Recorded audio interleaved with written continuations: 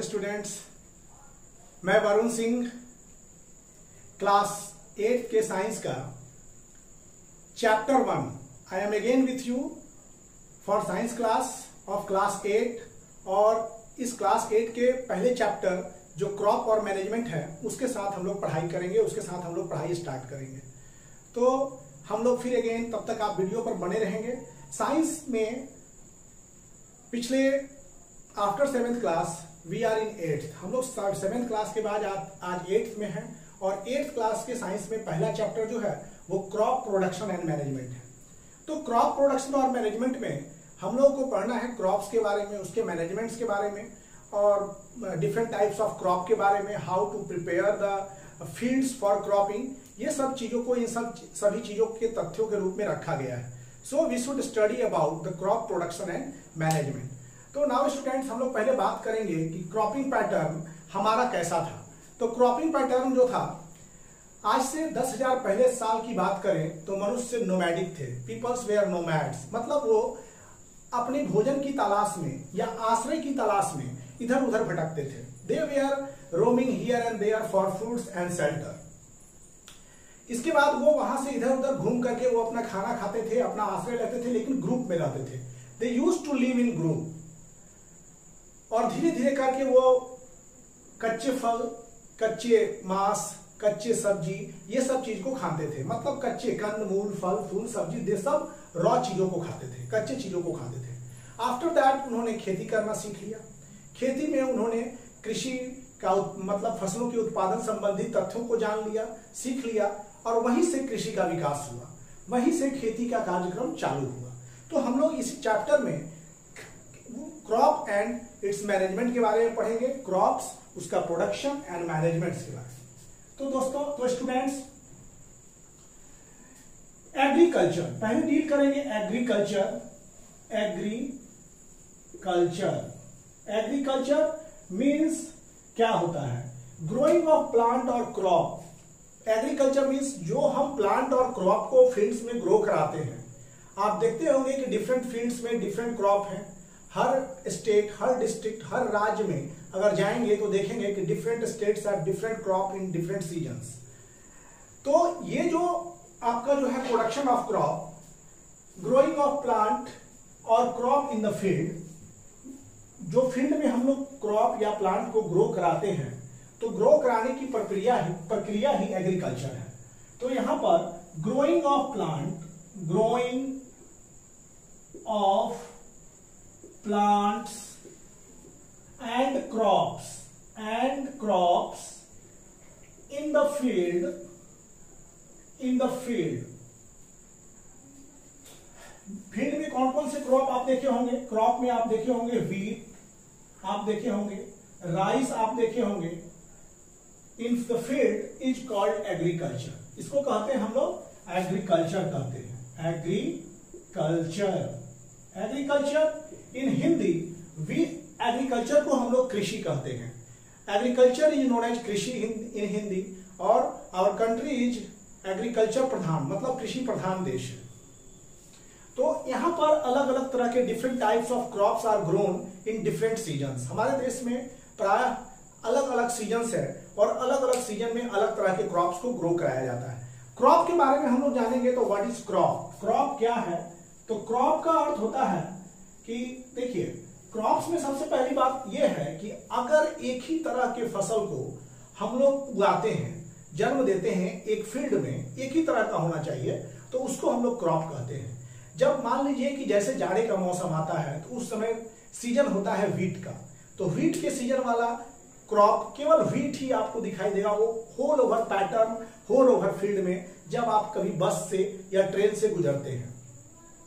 जब भी देखिएगा कभी whenever you pass by bus और train you will watch the field you will find find the same type of crop in the field अगर गेहूँ का सीज़न है, जैसे जाड़े का सीज़न आएगा तो वहाँ पर गेहूँ वगैरह आपको दिखाई देगा।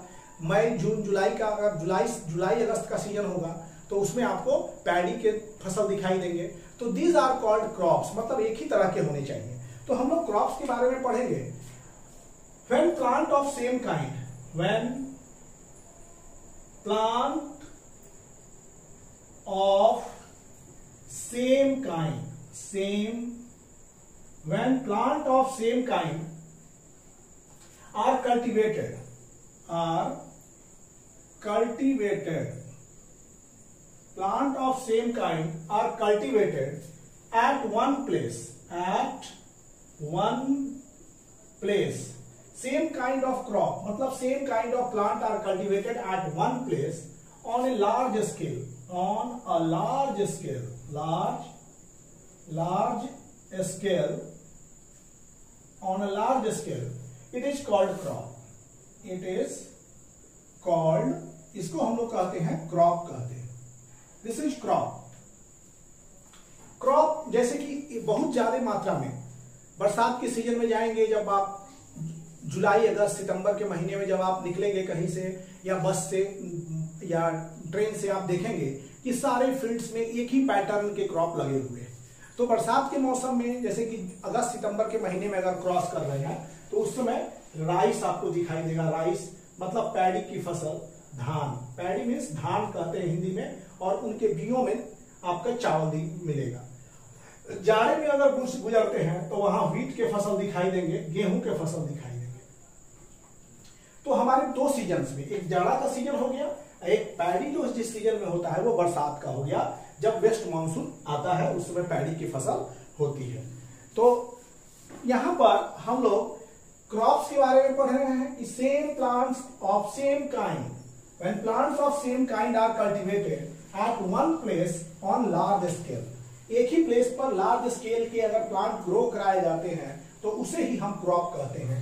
ये रेनी सीज़न में जनरली आप जब कभी भी ट्रेन या बस से पास कर रहे होते हैं बच्चों तो ये रेनी सीज़न में इस तरह की क्रॉप को देखेंगे। और ये जो है, जब आप विंटर में जाएँगे विंटर सीज़न में आप इस तरह के फ़सल को देखेंगे, जब मौसम जाड़े का आता है।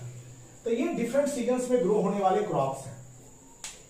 तो हमारे देश में different type of crops are grown because of different season के कारण ऐसा हो पाता है। डिफरेंट सीज़न और क्लाइमेट हमारे देश में चार तरह के सीज़न होते हैं ऐसे। तो हम लोग रेनी और विंटर सीज़न की ही चर्चा करेंगे। यहाँ पर crops are of different kind crops are of different kind different kind हमारे क्रॉप्स डिफरेंट काइंड के हैं। इसमें they can crops are different different crops हमने जैसे कि आपको बताया कि रेनी सीज़न में केवल पैडी दिखाई देगा। विंटर सीज़न में गेहूँ केवल व्हीट दिखाई देगा। मीन्स अपने क्लाइमेटिक कंडीशंस के आधार पर। तो यहाँ पर देखेंगे कि डिफरेंट टाइप ऑफ़ क्रॉप्स में कौन कौन होता है? सीरियल्स ये हो गए सीरियल्स सीरियल्स सीरियल्स हो गया। इसके बाद हो गया वेजिटेबल्स वेजिटेबल्स इसके बाद आपका क्या हो गया? फ्रूट्स। फ्रूट्स। ये हो गए different types of crops of different kind इसमें on the basis of season ये ग्रो करते हैं। सीज़न के आधार पर हमारा देश बहुत ही वास्ट कंट्री है। Our country is a very vast country तो हमारे देश में दो तरह के क्रॉप्स होते हैं क्लाइमेटिक कंडीशंस के आधार पर। इंडिया हमारा बहुत वास्ट कंट्री है। और the climatic condition the climatic condition climatic condition of our condition like temperature like temperature. Climatic condition में जैसे हम बात करेंगे टेम्परेचर का ह्यूमिडिटी का humidity temperature humidity and rainfall and rainfall rain rainfall rainfall vary from region to region, vary from region to region region to region. Means ये जगह पर क्षेत्र पर निर्भर करता है आपका क्लाइमेटिक कंडीशंस हर जगह के temperature humidity speed of wind अलग अलग होते हैं और इस तरह की व्यवस्था से हमारे देश का क्लाइमेटिक कंडीशन जो है, वो रीजन टू रीजन वैरी करता है। हमारे देश में जैसे कि सबसे कृषि प्रधान देश है और दूसरा चीज़ क्लाइमेटिक कंडीशंस का वैरी करना रीजन टू रीजन एक इंपॉर्टेंट फैक्टर बनता है इन क्रॉप्स के लिए। अब cropping patterns rich variety of crops are grown in our country rich rich variety rich variety of crop of crop are grown in our country grown in our country our country बहुत rich variety of crop हमारे देश में उगाए जाते हैं और इसमें क्या है कि despite of this we have been classified crops into two broad classification हमने क्रॉप्स को जो डिवाइड किया है, वो दो भाग में डिवाइड किया है। पहला कि देखिए, सबसे एक बार फिर हम रिपीट कर रहे हैं। क्रॉप्स जो है, वो डिफरेंट काइंड के हैं, जिनमें है सीरियल्स वेजिटेबल्स एंड फ्रूट हमारा India India is very vast country very very very vast I think अगर वो कृषि की बात करें तो और ज़्यादा वास्ट है ये। The climatic conditions like temperature humidity and rainfall इस देश में, हर रीजन में अलग अलग है। अगर बात करेंगे आसाम का तो आसाम में क्या है कि वहाँ बहुत ज़्यादा रेनफॉल से फ्लडिंग की समस्या ज़्यादा रहती है और राजस्थान की बात करेंगे तो वहाँ सुखाड़ रहता है। तो वहाँ पर ड्रॉट कंडीशन जैसा माहौल बना रहता है। तो सो यहाँ पर हमारा जो है रीजन वो climatic condition region to region vary करता है। और यहाँ फिर भी यहाँ पर rich variety of crops grown होते हैं। एंड इस रिच वैरायटी के बाद भी हम लोग क्रॉप को दो ब्रॉड पैटर्न में डिवाइड किए हुए हैं। In spite of rich variety of crop we have divided crops into two broad classification तो यहाँ पर despite despite rich variety rich rich variety of crops crops we have classified the crop. We classify we classify classify the crops crops into two broad into two broad crop, cropping pattern two broad cropping pattern हमारे यहाँ pattern दो ही है ब्रॉडिंग broad cropping pattern. मतलब दो विस्तार जैसे कि दो क्रॉप का जो है ज़्यादा चर्चा होगा। एक क्रॉप जो कि आपका होता है रेनी सीज़न में। टू ब्रॉड क्रॉपिंग मतलब एक जो होता है आपका रेनी सीज़न में रेनी सीज़न। और रेनी सीज़न और दूसरा जो होता है, एक होता है विंटर सीज़न की बात। Winter season season rainy season and winter season ये सीज़न में अलग अलग क्रॉप्स ग्रो कराए जाते हैं। और ये सीज़न जो है रेनी सीज़न में जानते हैं धान पैडी हम लोग सिक्स सेवन क्लास में भी पढ़े कि पैडी जो होता है, वो रेन जहाँ पर होगा, वहीं ज़्यादा ग्रो होगा। सेवेंथ में भी पढ़ा। कि रेन जहाँ होगा, वहीं ज़्यादा पैडी की खेती होगी। मतलब धान वहीं पर होगा, जहाँ रेनी सीज़न होगा। तो यहाँ पर रेनी सीज़न है, रेनी सीज़न में जो क्रॉप होते हैं, उसको खरीफ क्रॉप कहते हैं। Kharif kharif crop. Kharif crop sometimes इसको समर क्रॉप भी बोलते हैं। Sometime these are called summer crop. इसको कभी कभी समर क्रॉप भी कहा जाता है। तो खरीफ क्रॉप जो है, रेनी सीज़न के क्रॉप है, इनका टाइमिंग जो होता है, रेनी सीज़न इंडिया में कब से होते हैं? इंडिया में स्टार्ट होता है जून टू सितंबर को माना जाता है रेनी सीज़न। सितंबर, जून टू सितंबर मंथ ये रेनी सीज़न के मंथ है। रेनी सीज़न के मंथ है। This is month of rainy season from June to September जून से सितंबर तक। इसमें क्या है कि अगर पहला ये जून टू सितंबर जो बात लिख रहा है, रेनी सीज़न का, इसमें हम लोग धान के क्रॉप को सोइंग कहते हैं। ये हो गया सोइंग। सोइंग। क्योंकि जून टू सितंबर में क्या होता है कि सोइंग स्टार्ट होता है तो इसमें होता क्या है? जून टू जुलाई में सोइंग स्टार्ट होता है और इसमें beginning of south west monsoon होते हैं। इसमें beginning of beginning of south west monsoon south west monsoon monsoon south west monsoon इसमें स्टार्ट होते हैं। तो जून की बात जो होगी, जून में हम लोग शो करते हैं, जून, जुलाई सीज़न में, लेकिन इसमें जो होगा, बोना शुरू करते हैं धान का। पहले से लगाते हैं हम नर्सरी क्रिएट करते हैं इसमें। छोटे छोटे धान, जब आप देखेंगे तो पता चलेगा कैसे धान की खेती होती है। तो इसमें जून जो होता है, वो बिगनिंग वो जो होता है, वो सोइंग का सीज़न है, बोने का सीज़न है। जब हम धान लगाते हैं तो वो जून सीज़न होता है और जुलाई सीज़न। और जून और जुलाई सीज़न जो होता है beginning of south west monsoon south west monsoon उधर से साउथ में वेस्ट मानसून के समय में का शुरुआत होता है। तो हम लोग देख रहे हैं कि अभी जिस आवाज़ से गर्मी पड़ रही है तो इसमें वाटर वाटर वेपर के रूप में स्पेस में जा रहे हैं। मतलब कि गो टू हायर लेवल वहाँ पर कूल होंगे कंडेंस होंगे तो वही चीज़ हमारे पृथ्वी पर गिरेंगे। तो ये जो है beginning of south west monsoon start कहाँ से होगा? जून जून और जुलाई में। और अगर हार्वेस्ट करेंगे इसको तो हार्वेस्ट हम लोग करते हैं कब? पार्टिकुलरली इन सितंबर ये हार्वेस्ट कटाई करते हैं इसमें। हार्वेस्ट हार्वेस्ट करते हैं सितंबर में। तो rainy season June to September में, जो पहला स्टार्टिंग है, वो है आपका सोइंग का, और सितंबर जो है, वो हार्वेस्टिंग का टाइम होता है। बिकॉज़ क्रॉप इसमें जो होता है कि पैडी का क्रॉप बहुत ज़्यादा मात्रा में इसको पानी चाहिए।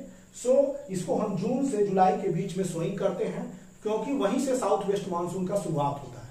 तो साउथ वेस्ट मानसून बहुत सारे वर्षा लाते हैं अपने साथ, और वहीं से हम लोग की धान की पहली बुआई चालू हो जाती है, बुआ बोना चालू हो जाता है। तो जून और जुलाई जो है धान बोने का समय है, और सितंबर मास जो होता है, वो धान काटने का समय होता है when we harvest the paddy paddy जब हम पैडी को हार्वेस्ट करते हैं अब इसमें kharif crop harvested at the end of monsoon मतलब ये क्या होता है सितंबर? एंड ऑफ़ मानसून ये मानसून का एंडिंग होता है। एंड ऑफ़ मॉनसून ये मॉनसून जो होता है, सितंबर में जाके लास्ट सितंबर तक एंड करता है और उसी समय हम इसको हार्वेस्ट करते हैं। हम लोग खरीफ क्रॉप के बारे में पढ़े कि खरीफ क्रॉप कब होते हैं? रेनी सीज़न में। अब रेनी सीज़न में जून टू सितंबर जून टू सितंबर मतलब जून और जुलाई जो होता है, उस पर धान लगाने का समय, पैडी को लगाने का समय होता है और सितंबर का लास्ट लास्ट तक पैडी की कटाई हो जाती है और ये एंडिंग ऑफ़ मानसून होते हैं। सितंबर सीज़न में end of monsoon end of monsoon यहाँ पर होता है और जून जुलाई जून जुलाई में ये क्या होता है? Beginning of south west monsoon होते हैं। खरीफ क्रॉप में जो मुख्य फ़सलें हैं, उसके बारे में हम लोग चर्चा करेंगे। तो पहला लेटर जब भी कोई ये जो खरीफ क्रॉप है तो जो पहला जे जून टू सितंबर लिखा है तो पहला होता है आपको बुआई का समय जब हम लोग लगाते हैं धान को। पैडी को लगाते हैं सितंबर, जब हम हार्वेस्ट करते हैं।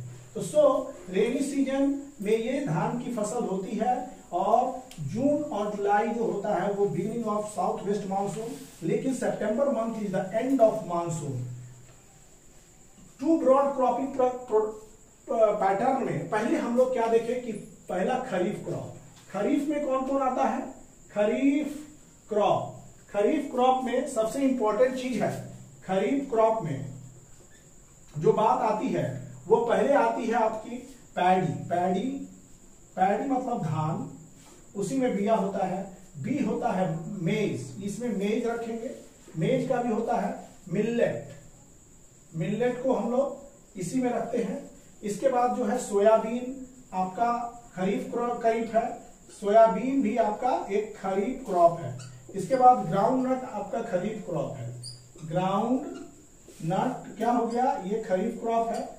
इसके बाद क्या हो गया? कॉटन जो है, खरीफ क्रॉप है। कॉटन खरीफ क्रॉप होता है। तो ये सब खरीफ क्रॉप है। पैडी जो है, पैडी को हम लोग हम विंटर में नहीं लगा सकते। वाई कैन नॉट हम लोग पैडी को या इस सब चीज़ को we can not grow in winter why because of less we can not grow we can not grow this crop in winter grow this crop in winter in winter क्यों? Because less rainfall because less इसमें less rainfall होते हैं. इसमें rainfall नामुमकिन होता है. Rainfall इसमें ना के बराबर होता है. जिसके कारण जो है, हम लोग खरीफ क्रॉप को विंटर सीज़न में नहीं लगा सकते हैं। तो ठीक है। तो यहाँ पर खरीफ में paddy maize millet soybean groundnut cotton ये सब जो है वो खरीफ खरीफ खरीफ फ़सल है। तो ये, इनको हम लोग क्या होता है रेनी सीज़न में लगाते हैं। We can not grow this crop in winter because less rainfall इनको हम लोग जाड़े में नहीं लगा सकते हैं, क्योंकि रेनफॉल नहीं होता। है तो हम लोगों ने क्या देखा? जून, जुलाई जो बरसात का समय होता है, जून, जुलाई जून, जुलाई बरसात का समय होता है। इसमें क्या होता है? इसको लगाया जाता है सोइंग किया जाता है। सोइंग और सितंबर में सितंबर में इसको लास्ट लास्ट तक जब मानसून जाते हैं तो इसको कटाई करते हैं। कहीं कहीं अक्टूबर तक चला जाता है इसकी कटाई करने में। और वो अपने अपने क्षेत्र के हिसाब से वैसा होता है। अपने क्षेत्र के हिसाब से।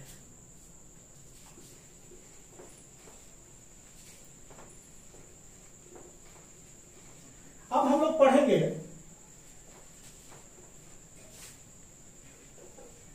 अब हम लोग पढ़ेंगे कि खरीफ के बाद जो है रबी क्रॉप। रबी के बारे में हम लोग पढ़ेंगे रबी क्रॉप। रबी क्रॉप के बारे में पढ़ेंगे। रबी में जो है, उसमें हम पढ़ेंगे कि rabi crop grown in winter season ये क्या होता है? Grown in winter season winter season ये विंटर सीज़न में ग्रो होता है। अब इसमें क्या होता है? विंटर सीज़न में कब? अक्टूबर टू मार्च अक्टूबर टू मार्च में इसको हम लोग ग्रो कराते हैं। देखिए, रबी क्रॉप जो है grown in winter season from October to March are called rabi crop this are called rabi crop sowing जो होता है इसका बुआई, बोले कि अक्टूबर टू मार्च तो सोइंग कब होगा? ये शुरू वाला जो है वो सोइंग पीरियड को दिखाता है। इसमें बुआई होती है। शुरू वाला जो आपको दिखाई दे रहा है अक्टूबर तो इसमें एक और मंथ फेंक सकते हैं सोइंग अक्टूबर और अक्टूबर और नवंबर में इसकी सोइंग होती है नवंबर नवंबर में इसकी सोइंग होती है। अक्टूबर नवंबर में इसको बुआई की जाती है और मार्च अप्रैल में इसको हार्वेस्ट किया जाता है। मार्च अप्रैल में इसको हार्वेस्ट कर दिया जाता है। मार्च से लेके अप्रैल तक।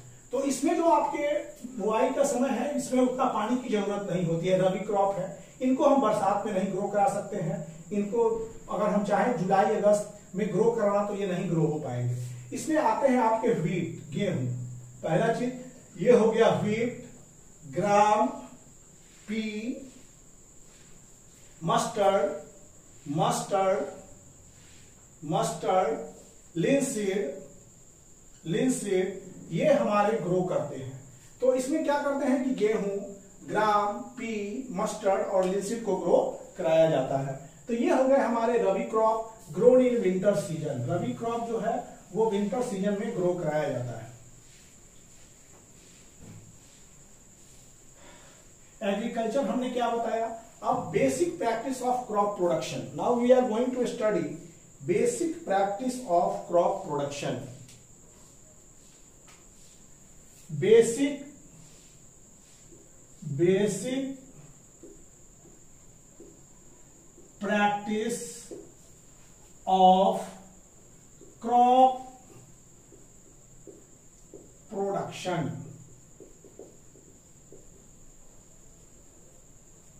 Basic practice of crop production. तो क्रॉप प्रोडक्शन के लिए भी शुरू से ही बेसिक प्रैक्टिस की जाती है, बेसिक प्रैक्टिसेस। तो क्रॉप प्रोडक्शन के लिए बेसिक प्रैक्टिस जो है, इसके बारे में हम लोग पढ़ेंगे। जिस तरह की मान लीजिए कि आपके एग्ज़ाम्स आते हैं और एग्ज़ाम के लिए भी आप बेसिक प्रैक्टिस करते हैं, शुरू से प्रैक्टिस करते हैं, एग्ज़ाम पीरियड के आने के समय और बेसिक प्रैक्टिस में कुछ चेंजेस लाते हैं। उसी तरह से हमारे क्रॉप प्रोडक्शन में भी एक बेसिक प्रैक्टिस की जाती है। बेसिक प्रैक्टिस कराते हैं हम लोग। बेसिक प्रैक्टिस करते हैं क्रॉप को प्रोडक्शन के पहले। और जो बेसिक प्रैक्टिस है, वो है cultivation of crop cultivation cultivation of crop. Cultivation of crops involves several this involves several activities. Activities undertaken by farmer undertaken by farmer by farmer over a period of, over a period of time, period of time. देखिए cultivation of crops involve several activities cultivation करने के लिए बहुत सारी तैयारियाँ, बहुत सारी क्रियाकलापों को किया जाता है और वो क्रियाकलाप हम आप नहीं, ये फार्मर करते हैं फार्मर ये थोड़ी देर के लिए, थोड़े लंबे समय के लिए इनकी तैयारी होती है। तो cultivation of crop involve several activities undertaken by farmer over a period of time ये पीरियड ऑफ़ टाइम में होता है। Farmer have to perform large number of task मतलब अगर बात करी जाए फार्मर की तो farmer has to perform farmer farmer have to perform have to perform perform large number of tasks large number of tasks they have to perform large number of tasks in sequence वो भी एक in sequence देखिए यहाँ पर तैयारी sequence में हो रही है सीक्वेंस में देखिए फार्मर्स जो होते हैं क्रॉप प्रोडक्शन में पहले की इसमें बहुत सारे एक्टिविटीज़ इन्वॉल्व होते हैं जो कि फार्मर्स के द्वारा ही किया जाता है। Farmers have to perform a large number of task उनको बहुत सारा टास्क परफॉर्म किया करना होता है इन सीक्वेंस में। और वो हमेशा गुड क्रॉप्स गुड फसल्स ही चाहते हैं। तो गुड फ़सल चाहते हैं तो ये जो है, उनके प्रैक्टिस पर निर्भर करती है, किस तरह से प्रैक्टिस उन्होंने किया है। और इसको बोलते हैं एग्रीकल्चरल प्रैक्टिस तो यहाँ पर various task perform by the farmer ये सब टास्क हो गए फार्मर्स के द्वारा. तो various task various task task perform by the farmers perform form by the farmer by the farmer various task perform by the farmers farmers farmers to produce good crop to produce good crop good crop good crop is called agricultural practice is called agricultural practice इनको हम लोग क्या कहते हैं agricultural practice कहते हैं जो task farmer लोग परफॉर्म करते हैं अपनी अच्छी फ़सल के लिए तो उनको हम लोग कहते हैं agricultural practice these are called agricultural practice what all things are done by the farmer? What are the basic practice done for farmer? The cultivation of crop में बहुत सारे एक्टिविटीज़ होती हैं जो कि फार्मर अपने कंधों पर लेते हैं और उनकी रेस्पॉन्सिबिलिटी कुछ पीरियड ऑफ़ टाइम तक ये चलती है farmers have to perform large number of task इसके लिए लार्ज नंबर ऑफ़ टास्क होते हैं टास्क करने पड़ते हैं। Various task perform by the farmer to produce good crop is called agricultural task good crop को प्रोड्यूस करने के लिए फार्मर्स की जो प्रैक्टिस होती है, उसको एग्रीकल्चरल टास्क कहते हैं। एग्रीकल्चरल टास्क कहते हैं। Various agricultural practice at different stage are carried out is जो जो एग्रीकल्चरल प्रैक्टिस है, उसके बारे में जानेंगे हम लोग क्या एग्रीकल्चरल प्रैक्टिस फार्मर लोग परफॉर्म करते हैं। तो so student the various practice किस चीज़ की practice various agriculture various agricultural agricultural cultural practice practice various agricultural practices which are carried out at various stage which are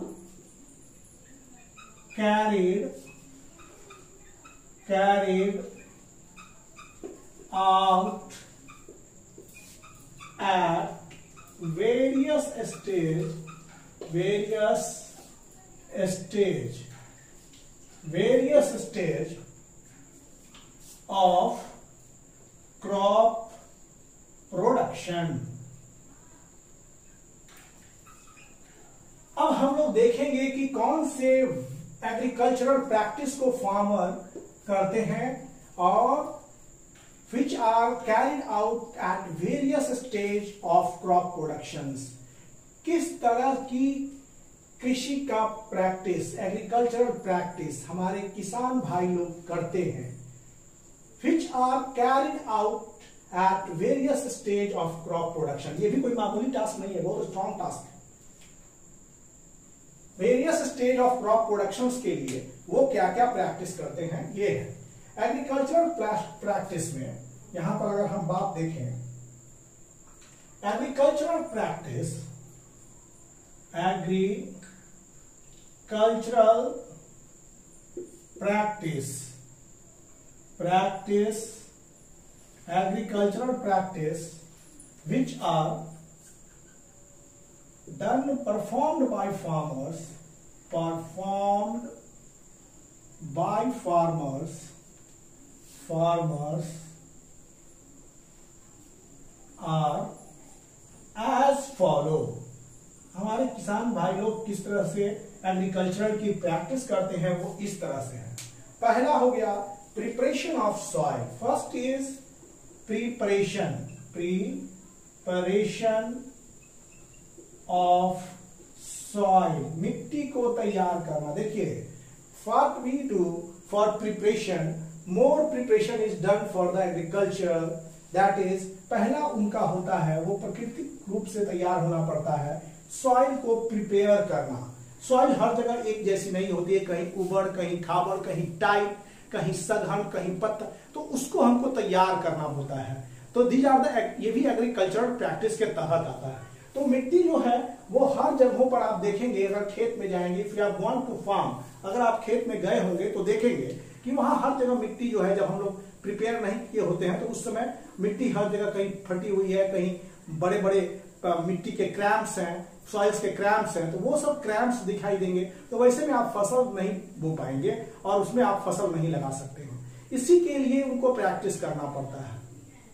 so so, पहला क्या करते हैं हम? प्रिपरेशन ऑफ़ सॉइल सॉइल को तैयार करते हैं। दूसरा करते हैं उसमें बुआई करते हैं। सोइंग दूसरा इसमें क्या करते हैं हम लोग? उसकी बुआई करते हैं सोइंग करते हैं। फिर तीसरा जब बोने के बाद क्या होता है कि हम लोग मार्केट से मैनुअर वगैरह लाते हैं या अगर मान लीजिए कि गोबर वगैरह, राख वगैरह है तो उसको भी डाला जाता है। वो बहुत ही महत्वपूर्ण होता है। ह्यूमस रिच होता है। ह्यूमस रिच होता है और ह्यूमस रिच मतलब मोर फर्टाइल तो अगर मान लीजिए कि उसका अगर अभाव है तो मार्केट से मैनुअर वगैरह ला करके आफ्टर सोइंग वो मैनुरिंग करते हैं ताकि न्यूट्रिएंट्स मिलते रहे, फल, फसल्स को न्यूट्रिएंट मिलते रहे। ये बुआई की बात की प्रक्रिया है। पहले तो मिट्टी को तैयार किए। मिट्टी को तैयार करने के बाद सोइंग की प्रक्रिया में हम लोग आते हैं और जब बुआई हो जाता है तो उसमें मैनुरिंग करते हैं ताकि उचित पोषण मिलता रहे। पौधे कोई कुपोषण के शिकार ना हो। मतलब so, manuring is necessary. Third is adding manure and fertilizers. Adding manure and fertilizers and fertilizers. Fourth is irrigation. Fourth, what we perform? Irrigation. हम लोग उसका पटाव करते हैं। इरिगेशन फोर्थ इरिगेशन है। Fifth protecting from weeds protecting from weeds from weeds उनको हम खरपतवार से बचाते हैं। Six is harvesting six harvesting उसकी कटाई करते हैं हार्वेस्ट मतलब एंड सेवेंथ इज़ स्टोर करते हैं। हम कटाई करने के बाद जितना भी है, जो भी हम प्राप्त करते हैं, उसको स्टोरेज में ले जाते हैं। उसके बाद भी प्रक्रिया होती है, लेकिन हम लोग मेन सेवन प्रैक्टिस करते हैं। पहले तो हम बताएँ सोइंग उसमें खाद डालते हैं। खाद डालिएगा, पानी नहीं मिलेगा तो वो भी जो है फ़सल के लिए नुकसानदायक है। ट्रांसपिरेशन नहीं होगा। दूसरा चीज़, उसको पानी के थ्रू न्यूट्रिशन को पौधे ऊपर ले जाते हैं। पानी की सहायता से पौधे जो है न्यूट्रिशन को ऊपर की ओर ले जाते हैं। मतलब कि रूट से एब्जॉर्ब करता है वाटर जाइलम के थ्रू और जाइलम के थ्रू लीव्स तक और लीव से वेरियस पार्ट ऑफ़ बॉडी तक वाटर को पहुंचाते हैं। तो इसमें क्या होता है कि irrigation so irrigation is necessary because irrigation helps in irrigation से क्या होता है कि water water helps in minerals and nutrient transport में बहुत इंपॉर्टेंट भूमिका निभाते हैं।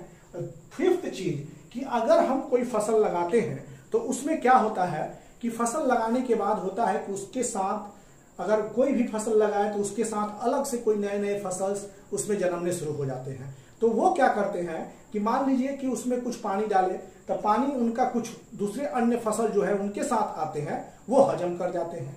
उनके कुछ न्यूट्रिएंट्स वो खा जाते हैं। और इस चीज़ को बचाने के लिए हम लोग जो उनके साइड से जो फ़सल लगाए, उनके साथ कुछ बगल से जो फ़सल पैदा हुए हैं, उनको हटाते हैं। तो इसको कहते हैं प्रोटेक्टिंग फ्रॉम वीड्स उसको जा करके, हाथ से नोच करके फेंक दिया जाता है। क्योंकि उनका भोजन कुछ ये हड़प लेते हैं, उनका पानी कुछ ये हड़प लेते हैं, उनका न्यूट्रिएंट कुछ ये हड़प लेते हैं तो जिससे पौधे को न्यूट्रिएंट्स उचित मात्रा में नहीं हो पाता है।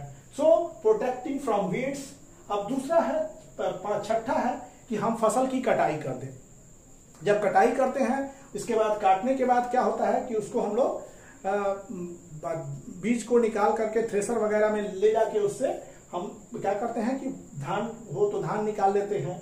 चाहे मशीन में जाकर के हम लोग धान निकाल लेते हैं, चावल निकाल लेते हैं और जो निकल के आते हैं उनको स्टोरेज में ले जाके स्टोर कर देते हैं। स्टोर में नीम का पत्ती वगैरह डाल के या कोई अन्य केमिकल डाल के उनको स्टोर किया जाता है ताकि उनमें कुछ हार्मफुल माइक्रो ऑर्गेनिज्म ग्रो नहीं कर पाए। तो बड़े बड़े सिलोज वगैरह बने होते हैं जहाँ पर आपका राइस मिल वगैरह होता है तो बहुत बड़े बड़े सिलोज होते हैं, उसमें ग्रैंडरीज को स्टोर किया जाता है। तो सो लास्ट स्टेज इज़ जो स्टोरेज तो बेसिक प्रैक्टिस उनके साथ क्या है? पहला है preparation of soil second preparation के बाद सोइंग सोइंग के बाद उनको न्यूट्रिएंट को देना ज़रूरी होता है, इसलिए न्यूट्रिएंट के लिए मैनुअल ऐड करते हैं। मैनुअल के बाद जो है, वो न्यूट्रिएंट ले कैसे जाएँगे? तो इरिगेशन चाहिए उसको। इरिगेशन के बाद उनके साथ कुछ अलग से कुछ अवांछित पौधे आ जाते हैं। अवांछित पौधों को हम लोग कबार के निकालते हैं और वे लोग कबार के निकाल देते हैं जिनसे उनके पौधे ही सारे न्यूट्रिएंट्स को यूज़ कर पाए। उनको प्रोटेक्टिंग फ्रॉम वेट्स एंड ये जो है, इसके बाद जब पूरे सीड्स वगैरह सब मैच्योर्ड हो जाते हैं तो उनको काट लेते हैं। वो हंसुआ होता है, उससे उनको काट लिया जाता है और सेवेंथ स्टेज में उसका स्टोरेज कर दिया जाता है। तो ये स्टोरेज का स्टोरेज हो गया। तो अब हम लोग स्टोर करते हैं। इसके बाद है बेसिक एग्रीकल्चरल प्रैक्टिस में सबसे पहला स्टेप क्या है? Preparation of soil. सबसे पहला स्टेप है बच्चों, preparation in, preparation of soil. तो प्रिपरेशन ऑफ़ सॉइल्स में ये जो है हमारा फ़र्स्ट चैप्टर का पहला लेक्चर है और पहला लेक्चर जिस चैप्टर का नाम है क्रॉप प्रोडक्शन एंड मैनेजमेंट और इस चैप्टर के साथ हम क्लास को यहीं पर आज खत्म कर रहे हैं, और तब तक आप अगले वीडियो में, अगले क्लास में हम फिर आपसे मिलेंगे। और very thankful and very proud feeling for watching the video for teaching in class at end now please subscribe and like the channels thank you